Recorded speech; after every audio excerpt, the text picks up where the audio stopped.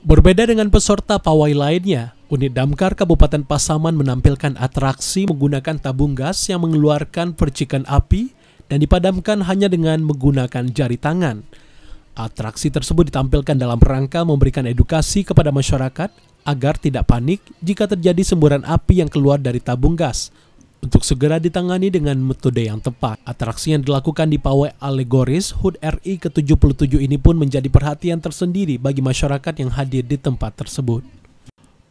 Pada kesempatan tersebut, Damkar Kabupaten Pasaman pun menyampaikan beberapa tips, yakni jika muncul percikan api dari tabung gas, segera cabut regulator gas dan bawa tabung gas ke tempat yang aman, yaitu tempat yang luas dengan sirkulasi udara yang baik, jika tidak sanggup mencabut regulator, maka gunakan handuk basah untuk menutupi kobaran api pada tabung gas. Pilihan lainnya adalah jika terjadi percikan api, gunakan apar atau alat pemadam api ringan yang bisa memadamkan api dari jarak lebih kurang 3 meter. Alat ini bisa dibeli di posko-posko damkar.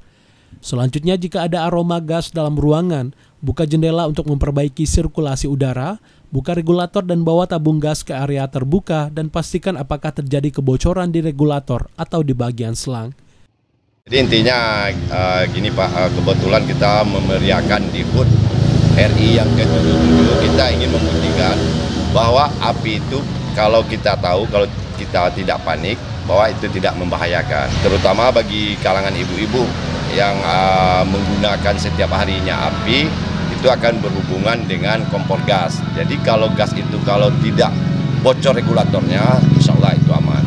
Seandainya ada semburan api di tabung gas di rumah masyarakat, kira-kira apa yang pertama harus dilakukan oleh masyarakat? Yang pertama kita mencari uh, membuka regulator yang ada dulu, membuka regulator, memutus uh, regulator yang terhubung ke gas. Hmm. Intinya jangan panik. Dari Kabupaten Pasaman, Ega Satria, Padang TV.